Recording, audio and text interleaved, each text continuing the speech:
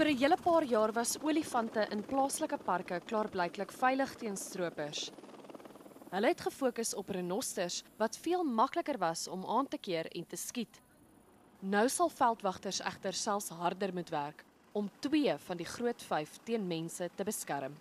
Verlede jaar is meer as 50000 olifante in Sentraal, Wes en Oos-Afrika afgemaai vir hulle ivoortande. Dele van Suider-Afrika word toenemend ook geteken met kenners wat sê dit was net 'n kwessie van tyd voor die Kreerpark se diere die volgende slagoffers sou word. It must have been shot around the 1st of May and uh, they they then did a post-mortem on it. Forensic uh, and ballistic tests have revealed that uh, it was definitely shot. The tusks were hacked off, so which means it was poached. Hulle vermoed die slagting was 'n opportunistiese een, uitgevoer deur booswigte wat eintlik op soek was na renosterhoring.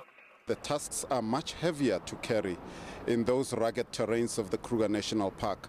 But you never know with the desperation of poachers and the attraction that uh, it poses in terms of uh, them being promised uh, riches by the syndicate bosses.